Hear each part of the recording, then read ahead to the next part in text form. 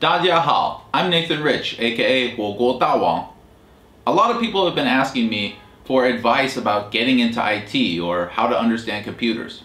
I started from very little computer understanding and climbed the ladder by myself to near the top of where the IT field can take you. While I didn't take the traditional route, I still learned some pretty useful tips along the way.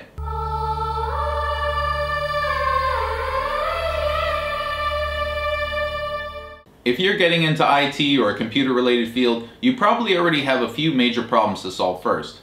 Usually in the beginning, you may not know what exact angle of computers you want to do. Programming, IT, UI, UX design, or what? When I was a child, my mother sometimes brought me to work with her. Though computers were rare, I did see a few and tried to make DOS games work on them. I learned about the concepts of DOS memory management and sound cards.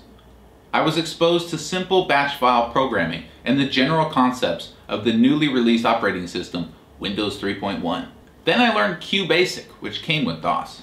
This introduced me to concepts like flow control within a script. I built a simple program that made the computer speaker beep a part of Beethoven's Ninth Symphony. Later in life, when I started to get into computers intentionally, I learned PHP, which introduced me to the basic concepts of server-side versus client-side processing. My goal was to be a web programmer. I studied HTML, PHP, CSS, and JavaScript. But as time went on, I realized that web programming wasn't what I wanted to focus on after all. The point I'm making is that as you progress in learning computers, you may find your focus changes as well. That's actually fine. Nearly everything you learn about computers will be useful in some other field of computers as long as you learn the general concepts because they can be so closely linked. So don't worry too much about exactly what you want to do in computers. You'll know it when you find it. The main drive should be to explore and learn. There was a time when I thought I knew just about everything there was to know about computers. Amusingly, this was before I started using Linux. I thought Windows exposed me to pretty much everything I needed to know. But the more I learned about computers, the more I realized how little I knew. And in this day and age, computer software is developed much faster than anyone can learn. So it's quite literally true. As time goes on, you know less about computers. How much less you know is all you can affect by studying. The second issue I know people face when they're learning computers is what I view to be the biggest one. This was a huge problem for me when I was starting out, and it resulted in a lot of wasted time. The problem is, even if you know what you want to learn, what's the best way to learn it? What stuff do you even need to know exactly? What software or language should you master? And which should you ignore? Should you focus on Java or should you be learning how CPUs work? This lack of a general guide on what to do next was the single most time waster in my journey to computer knowledge. The problem comes from a lack of proper guidance, but it's made much worse by too few sources of general knowledge. Let me give you an example. Suppose you want to make websites. You've certainly heard of SSL and TLS, and you probably already know HTTPS means HTTP secure and that there are SSL certificates and it has something to do with encryption. But the problem most new people face is, is that enough information? Do you know enough about SSL? Is that the right amount or are you underinformed? The problem with this kind of thing is that if you, for example, look up SSL on Wikipedia, you find one of the longest articles you've ever seen with tables and all these technical terms, and it just becomes an overwhelming task to try to understand. And you aren't even sure if you need to understand SSL better. This combination of problems for me was really difficult to sort out. In the end, I settled on the following approach. What I do is I try to find a simple explanation of a new subject. As I need to delve deeper, I do so by trial and error, reading documentation, and trying to find good tutorials good means by someone who both understands the subject and more importantly, doesn't try to teach you everything at once. So let me tell you what the minimum level of SSL understanding that you as a web developer should have. SSL or TLS actually serves a few purposes, but in order to understand why it exists, we must first answer this question. How do you know that the website you've got in your address bar is the actual website you're talking to? How do you know that when you type bilibili.com into a browser that your computer is actually talking to BeatGen? Your browser requests the DNS records for the name from the name servers you're configured to trust. An IP address comes back, let's say 1.1.1.1. Your browser connects to that IP and sends the header telling the server you're looking for a host called bilibili.com and the server gives you the web page you've asked for based on that information. Okay, stop. I've already covered several subjects that each are black holes of information. You can spend a lifetime just devoted to the very few things I've brought up. HTTP, HTTPS, IP, DNS. This illustrates the problem. What I'm suggesting is you get a high level understanding first, not drill down on each just yet. Okay, let's continue. Suppose someone had hacked the DNS server you use and told it to lie to you. Suppose when you asked the name server for the A record, it told you 2.2.2.2 rather than 1.1.1.1. Now you're talking to the wrong website, which may have made itself intentionally look like Bilibili, so you enter your username and password and they steal your account. So how can we stop this from happening? Well, we need a way to form a three-way relationship with that website and another service that we trust we need to declare that this third party will be responsible for making sure we're talking to the right website. Those third party providers are already configured in your browser right now. They are the authorities which tell you which Bijan is the right Bijan. But how does that authority know which one is real? Bilibili's servers are configured in such a way that if you talk to them without SSL, they redirect you to their SSL port.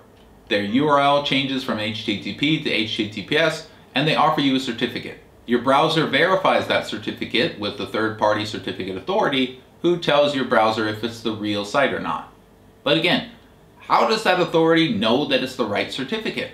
Bilibili had to create a certificate request file on their server. That request is tied not to the IP address of the server, but rather to the hostname. They send this file to the certificate authority, which issues an actual certificate based on that request file. The cert is next to useless by itself, but paired with the certificate authority checking you, you can be sure you're at the right site. But what else is needed to make this a secure connection? Well, encryption. The data you send back and forth between your computer and Bilibili servers by itself is not private. Anyone on the network path can view it all, your passwords, your everything. So to prevent that, they redirect you to the SSL version of the site, which not only verifies the endpoints of the connection like we talked about, but also encrypts the traffic.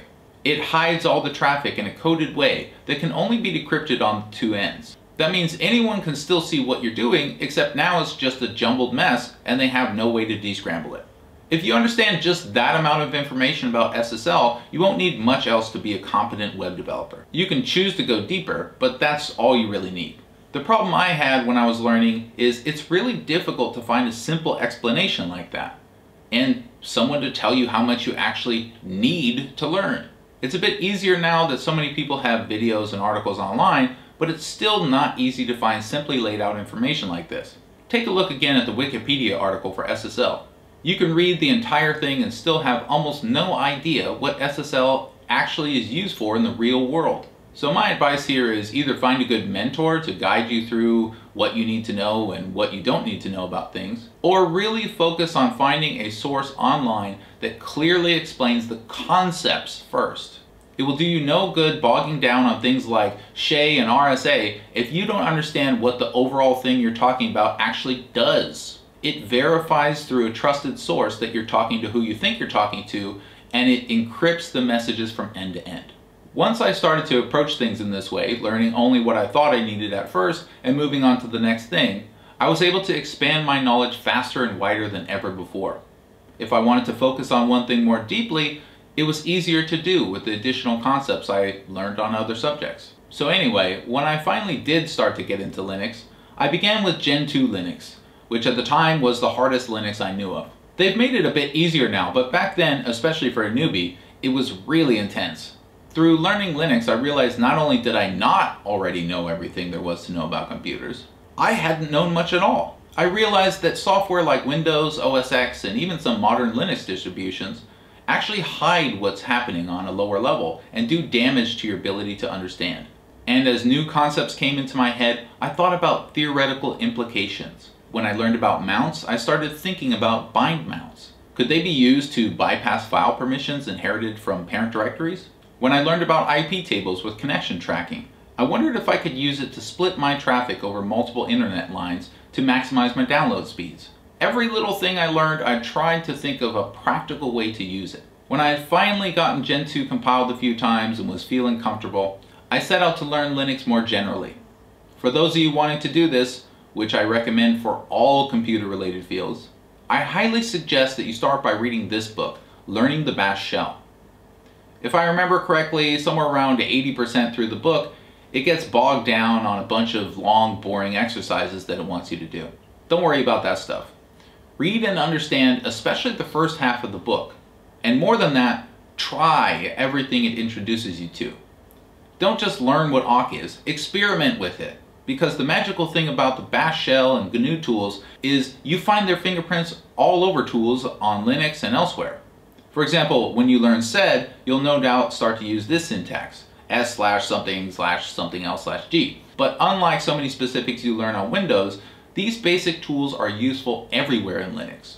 When you use vim to edit files, you'll find nearly the same syntax in use, percent %s slash something slash something else slash g. These types of fundamental building blocks are essential to working effectively in Bash. After I became the best Bash user I could, I wanted to learn real programming, so I went to the next natural choice, Perl. Perl is very easy to learn if you know Bash because it shares much of the same syntax. For example, in Bash, if you want to get the process's PID, you use $dollar $dollar. And in Perl, it's also $dollar $dollar. Without Bash, Perl would have been more difficult to learn. After Perl, I wanted a cleaner and more object-oriented language, so I moved on to a newer language called Python. Another reason I learned it is that at the time I was writing Kickstart scripts for use with a program called Cobbler.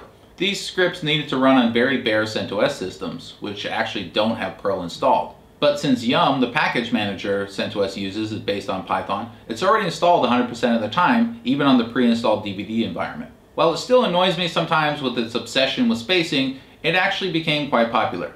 But you see, from learning Bash and Perl, Python was already pretty easy. It's building blocks on the way to excellence. Don't worry too much about what you want to do specifically in computers, but rather try to focus on how to learn the concepts of what these little machines are actually doing and how they think. That information will be more generally applicable and will come in much more handy than the specifics. Quite often in my line of work I come across, for example, C++ developers who don't really understand the operating system at all. And occasionally there are some who do. Guess who really makes the best applications? The ones who understand how video cards basically work. They understand the basics of POSIX file systems and the difference between sync and async. They get why they shouldn't just use varchar 255 on every database field, and they know why. None of these relate to programming directly, but in reality they're the difference between a good programmer and a great one. Focus on learning for yourself, not for some certificate or to pass a test. Focus on understanding the subject deeply, and you're going to go very far in life. I can tell you that much. Thanks everybody. 谢谢。